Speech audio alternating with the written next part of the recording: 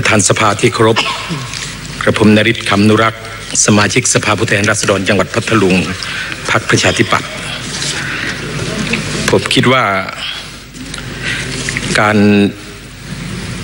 ทราบและอภิปรายผลการปฏิบัติงานของคณะกรรมการการเลือกตั้ง ผ่านสภาผู้แทนราษฎรในวันนี้เนี่ยบรรยากาศน่าจะเงียบเหงากว่าทุกครั้งนะครับ เหตุเพราะว่า เป็นรายงานที่เกิดขึ้นตั้งแต่ปี 2560 ซึ่งเป็นปีที่ไม่มีการเลือกตั้งสองเป็นรายงานของคณะกรรมการเลือกตั้ง ชุดที่แล้วด้วยนะครับ ซึ่งไม่ใช่ชุดปัจจุบันนะครับซึ่งอาจจะทำให้บรรยากาศผิดแผกแตกต่างกกันทุกครั้ง แต่ว่าผมมีเหตุผลความจำเป็นบางประการที่จะ อภิปรายด้วยเหตุที่ว่ากระผมเองผ่านการเลือกตั้งมาหลายครั้ง รวมรวมทั้งรับทราบการเลือกตั้งในระดับต่างๆ ทั้งท้องถิ่นมาเป็นอย่างดี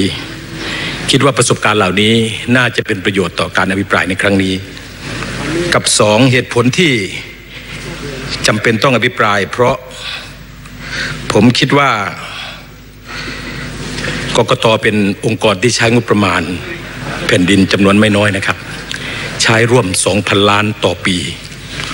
มากกว่าบางกระทรวงของเราซะอีกนะครับ แต่ที่สำคัญที่ต้องอภิปราย เพราะว่าผมเชื่อมั่นในกกตว่า ท่านยังเป็นหน่วยงานที่เป็นความหวังอยู่นะครับ ผมขออนุญาตที่จะเริ่มว่า ผมอยากให้ท่านเนี่ยนะครับ ให้ความสำคัญโดยการรณรงค์และโหมโฆษณาให้คนไทยเชื่อว่า นักการเมืองที่ทุจริตการเลือกตั้งเนี่ยและรัฐบาลที่มาจากการทุจริตในการเลือกตั้งเนี่ยเป็นความเลวร้ายที่สุดนะครับ ไม่มีสิ่งใดเลวร้ายเท่านี้นะครับ เพราะทั้งนักการเมืองและรัฐบาลที่ทุจริตการเลือกตั้งเนี่ยจะเข้าไปแสวงหาผลประโยชน์ ไปถอนทุนคืน และจะทำความเสียหาย และไม่เพียงแต่เกิดความเสียหายในประเทศ ผมคิดว่าชื่อเสียงในระดับประเทศ รวมทั้งเศรษฐกิจ รวมทั้งการลงทุน ก็จะรับการกระทบไปด้วยนะครับ ผมจึงขออนุญาต ตั้งข้อสักถามและข้อเสนอแนะในบางประการว่าสำหรับการเลือกตั้งทุกครั้งเนี่ย ข้าการที่เพิกเฉย ทั้งทั้งที่เป็นพนักงานเจ้าหน้าที่ข้าการที่ร่วมกระทำผิดกันซะเองเนี่ยกกตต้องสร้างกลไกขึ้นมานะครับ เพื่อที่จะเอาผิดลงโทษให้ได้ บางจังหวัด รู้ทั้งรู้ครับว่ามีการกระทำผิดผู้ว่าการจังหวัดเฉย นายอำเภอเฉย ธุระไม่ใช่ ในบางที่เลือกตั้งกำนันกำนันผู้ใหญ่บ้าน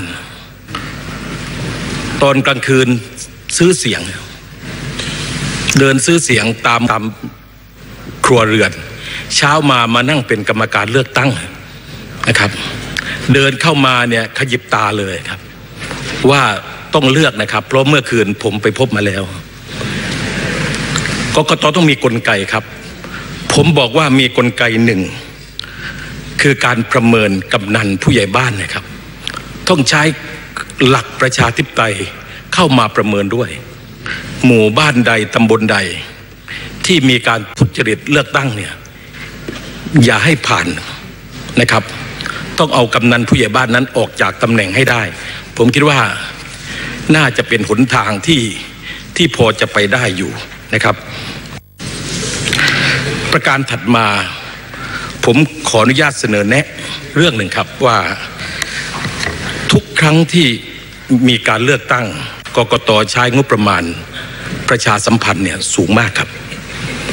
ท่านติดป้ายท่านโฆษณาท่านออกสื่อ ที่จริงท่านใช้ให้น้อยที่สุดได้เลยครับ เพราะหน้าที่เหล่านี้เป็นหน้าที่ของผู้สมัคร และพรรคการเมืองที่เข้าไปรณรงค์เลือกตั้ง ชาวบ้านรู้ครับจากพวกเราปราศัยว่าเลือกตั้งวันไหน หน่วยไหนเลือกใคร ชาวบ้านรู้ครับ แต่ว่างบประมาณกกตใช้เป็นก้อนใหญ่สุดสำหรับการเลือกตั้ง อันนี้ผมรู้สึกเสียดายนะครับ การเลือกตั้งครั้งต่อไปเนี่ยท่านใช้ง่ายน้อยนะครับ ท่านสำรวจได้เลยครับว่าชาวบ้านรู้การเลือกตั้งจากใครมากที่สุด ผมคิดว่าจากป้ายกกตเนี่ยน้อยสุดนะครับ จากพวกเราปราศัยในมากสุดนะครับ ถัดมา ผมไม่ทราบเหตุผลใดครับว่า การเลือกตั้งครั้งก่อนๆนนะครับ เราใช้เวลาสำหรับการเลือกตั้งเนี่ยเจ็ดชั่วโมงนะครับแปดโมงเช้าถึงสามโมงเย็นท่านให้มีกรรมการหน่วยเลือกตั้งเก้าคน รวม รปภสองคนเป็นสิบสองคน และท่านได้ตั้งเป็นผู้อำนวยการหน่วยเลือกตั้งหนึ่งคน ก็ทำหน้าที่เจ็ดชั่วโมงจะได้ครับ แต่พอมาเลือกตั้งครั้งล่าสุดเนะครับ ท่านใช้เวลาในการเลือกตั้งเพิ่มขึ้นมาอีกสองชั่วโมง เป็นเก้าชั่วโมง แต่เจ้าหน้าที่ประจำหน่วยเลือกตั้งเนี่ยท่านลดลงเหลือห้าคน บวกรปภ สองคนเป็นเจ็ดคน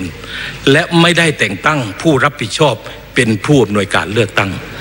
ไม่มีเจ้าภาพนะครับ แต่ละหน่วยเนี่ยนะครับท่านลองกลับไปดูคำสั่งของท่าน ผมคิดว่าต้องต้องแก้ไขนะครับ เรื่องสุดท้าย ผมอยากให้ท่านใช้งบประมาณก้อนสักก้อนหนึ่งใหญ่ ๆ จาก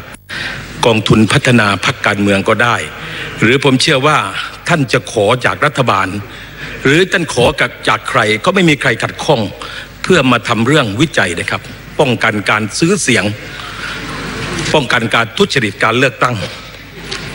ผมอยากให้ท่านลองวิจัยครับว่า วาระของผู้แทนราษฎรเนี่ยสี่ปีเนี่ยเหมาะและยังสี่ปีเนี่ยบางทีมันนักลงทุนในทางการเมืองเนี่ย อาจจะชอบนะครับสี่ปี ท่านลองขยับมาน้อยหน่อยได้ไหมครับ เหลือสองปีเงี้ยผมคิดว่าคนซื้อเสียงขยาดนะครับถ้านลดลงมาสองปี บางทีอาจจะคนซื้อเสียงไม่กล้าซื้อนะครับ เพราะว่าอาจจะไม่คุ้มท่านลองศึกษาดูนะครับ ว่าตัวเลขจะวาระกี่ปีเหมาะที่สุดและคนไม่กล้าซื้อเสียงสอง ถ้าท่านไม่ใช้กำนันผู้ใหญ่บ้าน เป็นกรรมการหน่วยประจำหน่วยเลือกตั้งเนี่ยได้ไหม ท่านจะใช้ใครได้ดีกว่านี้ เพราะผมอภิปรายมาแต่ต้นว่าบางหมู่บ้านเนี่ยกลางคืนกำนันผู้ใหญ่บ้านไปใช้เงินซื้อเสียง แล้วกลับมานั่งเป็นกรรมการเลือกตั้ง แต่ครั้งหนึ่งเนี่ยเมื่อปี 2500 เลือกตั้ง 2544 ทางกกตเลือก คนอื่นไม่ใช่กำนันผู้ใหญ่บ้านหน่วยอื่น ส่วนตัวเห็นว่าได้ผล แต่ว่าเผื่อว่าผมเห็นคนเดียว ท่านใช้เงินสักก้อนศึกษาครับว่าใครควรจะเป็นกรรมการประจำหน่วยเลือกตั้งที่มีประสิทธิภาพและป้องกันการซื้อเสียงได้มากที่สุด ท่านลองกลับไปศึกษาอีกสักครั้งเถอะครับว่า การนับคะแนนรวม ไม่นับคะแนนที่เป็นหน่วยเนี่ยอันไหนที่จะป้องกัน ซื้อเสียงท่านป้องกันการทุจริตเลือกท่าตั้นงนริศครับ ขอขออนุญาตนิดหนึ่งครับ ผมผมฟังท่านย้ำว่ากำนันผู้ใหญ่บ้านกำนันผู้ใหญ่บ้านกลางคืนซื้อซื้อเสียง ผมใช้บางว่าท่านมันมันบางระบุบางคนก็ได้ครับมันระบุจำเพาะเจาะจงเกินไปนะมันจะครับเสื่อมเสียกับองค์กรของครับกำนันผู้ใหญ่บ้านเขา ฉะนั้นผมผมขอท่านเอ่อใช้เปลี่ยนคำพูดเป็นว่า ผู้นำท้องถิ่นผู้นำท้องที่อะไรก็ว่าไปอย่างเงี้ยครับได้ไหมจริงๆครับได้เพราะได้ถ้าท่านได้ครับหรือหรือท่านจะพูดยังไงก็ได้ที่ได้ได้ครับท่านประธานเอ่อครับในในชุมชนอย่าให้กระทบกระเทือนถึงองค์กรใดองค์กรหนึ่งเอ่อผมนะครับใช้คำว่ามันจะกำนันผู้ใหญ่บ้านบางคนอ่าทุกครั้งนะมีสอ่าอ่าทุกครั้งผมก็ได้ผมยืนยันตามสคริปต์นะครับครับนะครับเอ่อใช้กำนันผู้ใหญ่บ้านบางคนนะครับไม่ใช่ทุกคนและไม่ใช่องค์กรนะครับ ขออนุญาตขออนุญาตเรียนกับกับท่านประธานว่าไม่ได้ใช่องค์กรนะครับ แต่ว่าลองใช้หน่วยงานอื่นดู มาเป็นกรรมการเลือกตั้งดู เผื่อว่าจะมีการป้องกันการทุจริตการเลือกตั้ง และสุดท้าย ผมอยากให้ท่านช่วยวิจัยหน่อย ศึกษาหน่อยว่า การใช้บัตรเลือกตั้งหนึ่งใบกับสองใบเนี่ยอันไหนจะดีกว่ากัน อันไหนจะป้องกันการทุจริตการเลือกตั้ง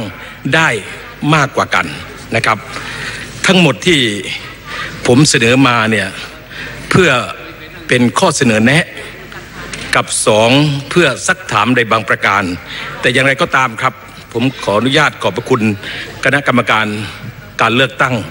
ที่พยายามเลือกตั้ง แม้มีข้อจำกัด แต่ว่าก็เลือกตั้งมาได้อย่างดีที่สุดในระดับหนึ่ง และยังจะให้กำลังใจท่าน เพราะผมเชื่อมั่นว่า ท่านยังเป็นความหวังของการเลือกตั้ง ยังเป็นความหวังของประชาธิปไตยและยังเป็นความหวังของประเทศไทยอยู่กับขอบคุณครับ